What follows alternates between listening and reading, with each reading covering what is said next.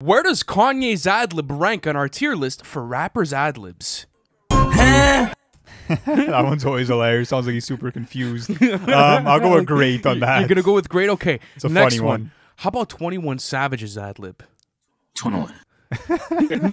21, 21. Um, you could have even put pussy in this because that's a freaking one that he uses. But um, I would go with good on this one. I Good mean, one? it's just him repeating his name. I always found it super entertaining. But okay, It's next fun. one. Pop Smokes.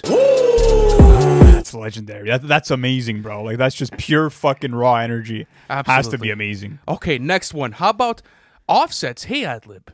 I like this one a lot. Um, I'll go great on that too. Okay, all right. So we have a positive tier list for today. Last one. You didn't bring any shit ones uh, to the mix. Very, very iconic. West Side Guns ad lib. Bro, this can turn any flat song to like fucking exciting right off the bat. Um, I'm going per.